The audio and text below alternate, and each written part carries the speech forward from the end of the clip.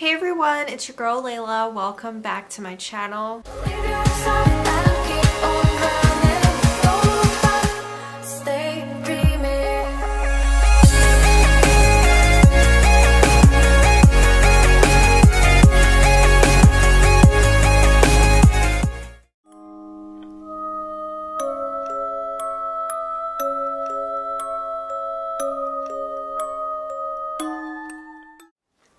Welcome back to another video. So in today's video, I am going to be doing another MMIW case. So if you guys are unfamiliar with this series on my channel, I have a whole playlist on true crime and specifically MMIW cases in Canada. So in today's video, I'm going to be covering the case of Leah Anderson. If you guys are not already subscribed, please go ahead, click the subscribe button below. I upload three times a week, Sunday, Wednesday, and Friday. So let's go ahead and get started on this case. So Leah Anderson was a 15 year old girl that went missing from God's Lake Narrows, Manitoba. Unlike most of the cases that I've covered on this channel, Leah's case is a little bit different because they found her body quite soon after she was murdered. This case is not only frustrating because it should have been solved. It should have been very, very solvable and you guys will understand why when I get into the video. The fact that it's been six years now and they still haven't solved this case makes this even more frustrating than it already is. So without further ado, let's get into the video. Leah Anderson was just 15 years old when she went missing from God's Lake Narrows, Manitoba. Leah and her siblings had a pretty rough life. Their father, Gilbert Duke, was murdered in 2003 and their mother, Sally Anderson, had struggled with addiction issues. At the time, the family lived in Thompson, Manitoba, and with Sally's addiction issues, this led her children to be put into the foster care care system. The kids fluttered between 13 foster homes when finally their Aunt Myrna and Uncle Wayne were finally able to adopt the children and take them into their home on God's Lake Narrows. God's Lake Narrows is a Cree First Nations reserve and has a population of only 1,300 people. It's only accessible in the wintertime via ice road or by air and this is what makes the case so frustrating is because there is so limited access to this community. Leah was very involved in her community and was even youth chief. This means that she knew most of the people in her community because it was so small and tight-knit. Leah was very artistic. She loved dancing, skating, and singing and she had dreams of one day attending the University of Manitoba. On January 4th, 2013 at approximately 7.30 p.m., Leah would see her family for the very last time. She had plans to go skating, however her friends that were supposed to go skating with her had cancelled last minute, but she decided to venture out alone anyways and with it being such a small, tight-knit community, I bet you Leah didn't feel unsafe whatsoever. Her uncle reminded her to return home before curfew. Now, what's interesting about this night is her friend had actually come by only just a few minutes after Leah left the house, but she had just missed her. That night, Leah did not return home. However, her aunt and uncle didn't initially panic because they thought that maybe she had crashed over at a friend's house and she would be back later on in the day. However, once that day passed and she did not return well into the next day, her family had started to worry about her. They even found other members of the community to help them look for Leah. On January 6, 2013, two days after Leah went missing, at approximately 10.30 in the morning, it was reported that a body was found near a snowmobile trail and the police had confirmed it was indeed Leah because she was the only person in the community that was missing at that point in time. Initially, when they found her body, they suspected that she was mauled by dogs because it was so badly disfigured. However, upon further investigation, her death was ruled a homicide and she was beaten to death. She also had various defensive scars, so she was definitely trying to fight back her attacker. It was believed she died before 10 o'clock p.m. on January 4th, the night that she left her house to go skating alone. Probably the most frustrating part about this case is during the weekend that Leah had ventured out, the ice road into the community was closed So the only way into the community on this weekend would have been by air or by snowmobile. Now God's Lake Narrows is a legally dry community, which means that alcohol is prohibited. There's no sales of alcohol and residents cannot consume alcohol legally in the community. However, alcohol is frequently trafficked in via the snowmobile trail. And why this is so frustrating is because there's only 1,300 people that live there. There's only 285 homes in the community of God's Lake Narrows. There was no way in or out of the community except for by air or by snowmobile. That's what makes the whole thing so frustrating because it should have been just an open and shut, super easy case to solve but it wasn't. A few days after Leah's body was located and RCMP flew in to do the investigation, they left and only returned sporadically since then. Leah's family believes that whoever killed Leah came from outside of the community and likely accessed God's Lake Narrows via the snowmobile trail. However, Leah's sisters, once interviewed, said that they don't feel safe walking around God's Lake Narrows, especially alone, and they believe that the killer still lives there today. Just some people have to watch out for. Not watch out for, but like suspects that I heard of. It was different. It wasn't so lonely and so scary now. Like I said, I can't trust it no more. Even just, even if it's just a little little walk by myself, I won't go alone. Not at nighttime either. Shortly after Leah's body was found, they did a toxicology exam on her and discovered that she had a 0% drug alcohol level and 0% drugs in her system at the time of death. Now, with it being such a small and tight-knit community, rumors spread about Leah and how the night that she disappeared, she actually didn't go skating, but she went to a house party instead, which is somewhat interesting because she did have her skates with her and her skates were with her at the time they found her body. So either she went skating and later attended a house party or she intended to go out and go skating, but she ended up at a house party instead. The party was supposedly hosted by Josephine B Josephine to this day denies that Leah had ever gone to her party. However, Leah's boyfriend at the time was looking for her that night and was unable to attend the party because it was all girls only. They said that she was there at the arena that night. She was she at early. They're saying they saw Leah there. Before this girl went to go burn her mattress. I heard, yeah, I guess they went for that walk I didn't even know who she was. She, I hear she was just a little girl. Another rumor that was confirmed by Destiny, who is Leah's sister, had stated that her boyfriend's cousin, which was also Josephine's brother, Steven, had gone drinking with some friends and stated that he had killed somebody and that he was going to be put away for a long time. And when asked to elaborate this, Steven didn't give a name to whom he killed, but he said that he had murdered somebody while drunk. And I mean, this is questionable because I feel like drunk people always tell the truth for the most part. Whenever you're drunk, you're more vulnerable to be telling people the truth. You don't normally put out a lie so I don't know, so out there, I guess, is what I'm trying to say. Like, if you've actually murdered somebody, you're more likely to admit to it while you're drunk.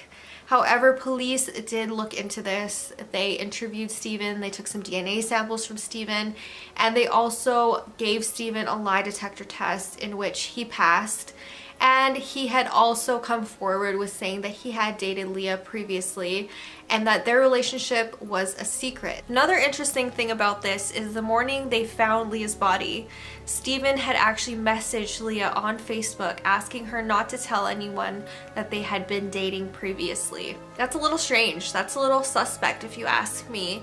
And I feel like not all lie detector tests are accurate. They're just not. They're not a good way to tell if somebody's innocent or if they're guilty because some people that are completely innocent fail lie detector tests. Some people that are completely guilty pass lie detector tests. Not saying that Steven is guilty in this at all. I'm just saying that it's not impossible to pass a lie detector test, which he did um, drinking together. Then he just uh, said said that out of nowhere, and like I already murdered somebody. What did you say? Then, then I pretended to laugh and I looked at him and I said, Who did you murder? And he told me, You don't have to worry about it. We heard today that you said at a party when you were drunk that you had murdered somebody and that you were going to hell. Oh, yeah. Yeah, that's what I said. Is it true? No.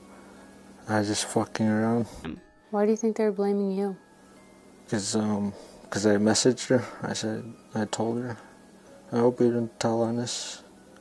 I, I messaged her that. Mm, and it was seen by uh, one of her family members. Right on Saturday morning, I messaged her. Why did you do that? I said, Why did you message her? oh, because um, I didn't want her to tell nobody, her family, How come? about us. I don't know. I just didn't want to. Stephen, were you involved with Leah's death? Nope. But we'll get back to Steven later on in the video in the theories. The RCMP during their investigation had taken DNA samples from a lot of male individuals from the community, some of them voluntarily giving up their DNA, Steven included in this, hoping that this would clear his name because there was DNA found on Leah's body and this matched a male DNA profile. So far to this date, RCMP have not updated the public on whether or not they found a DNA match or not.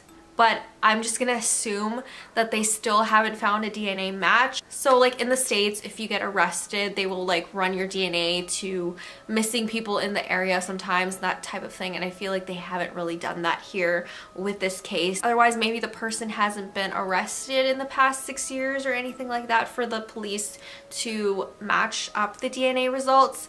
But yeah, they haven't released any further information regarding the DNA that was found on Leah at the time. So in 2017, a 23 year old male from the community was arrested in connection with Leah's death. However, the following day, this male individual was released by RCMP. It is unclear who this was. They didn't give any names. It is unclear if they tested this person's DNA to the DNA that was found on Leah and it didn't match. And it is unclear if they even took this individual's DNA at all. RCMP confirms that this person still remains a suspect in Leah's case. I, I don't know if it's because they didn't have enough evidence to hold him in jail, if they didn't have enough evidence, but they had DNA on Leah, right? So like, I, I don't know the details of this arrest and why this person was released and why they were unable to hold this person.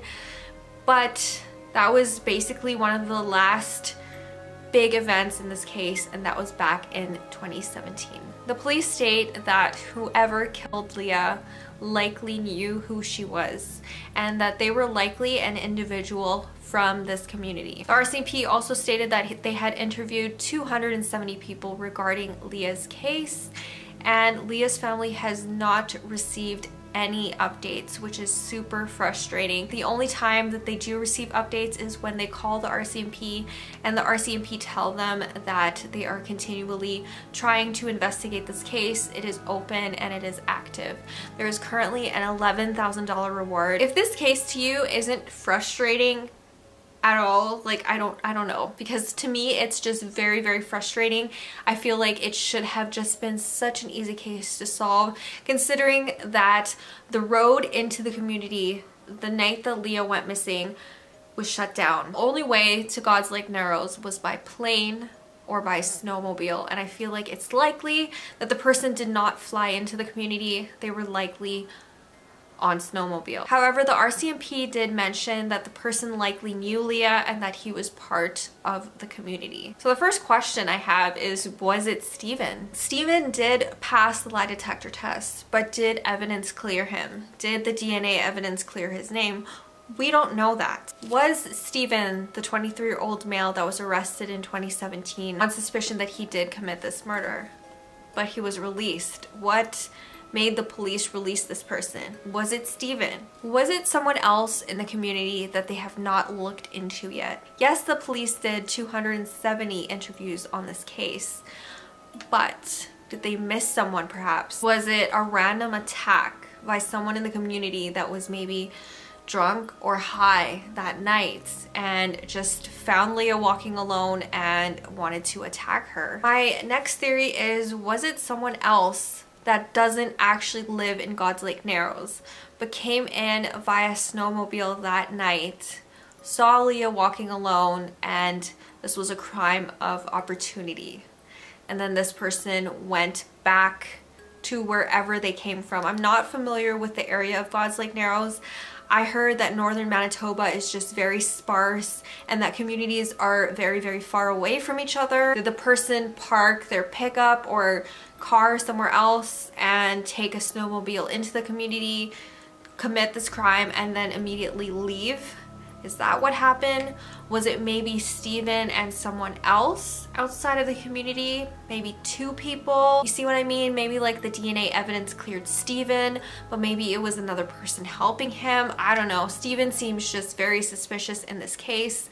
I know that watching the interview of him and the news reporter from CBC talking about this case, he completely denies that he had anything to do with it. But yeah, the whole drunken confession thing, makes him very suspicious to me. And if the DNA doesn't match Steven, which I'm sure the RCMP have to have looked into that. I mean, they did take a DNA sample for him. I guess if it didn't match, did he have help possibly? Was he connected in some way, but he had help committing the crime and whoever helped him that was their DNA on Leah's body. There's someone out there that knows something about this case and this person, if you think about how brutal this murder was, police had initially thought that Leah had been attacked and mauled by dogs or wolves. Her body was so badly beat up. That's what killed her. So there is a person out there that is a very violent killer that's walking free somewhere whether it be in God's Lake Narrows itself with its small population of 1,300 people. Can you imagine living in a town with only 1,300 people and there's one person that is a violent killer. Does he live in God's Lake Narrows? Is he somewhere else outside of the community? Someone definitely knows something about this case and the fact that it's been six years since this has happened. Leah was only 15 years old. She was 15 years old. She would have been 21 today. Would she have ever fulfilled her dream of going to the University of Manitoba? Would she have done something crazy and amazing with her life? It's sad to think about that, but I really hope that one day this case will be solved. I know that it's only been six years and there's been other cases out there that have gone on way longer and that have been solved eventually. And the fact that there is DNA evidence on Leah's body that matches a male DNA profile. And I really do hope one day they find a match to this DNA profile. So yeah, that is pretty much it for this video. I hope you guys enjoyed it. I hope you guys learned something new about this case. I was gonna do another Highway of Tears case actually just because there's so many of them to cover and I find them super interesting. However, when I first heard about this Leah Anderson case, I never heard of it until this year, until recently. When I heard of this case, I was like, I need I need to make a video on this. So if you guys have any case suggestions you want me to do a case on, please let me know in the comments below or send me an email. My email address is in the description box below. So I hope you guys enjoyed this. Don't forget to hit the subscribe button, like and share this video if you care, and I will see you guys soon. Bye.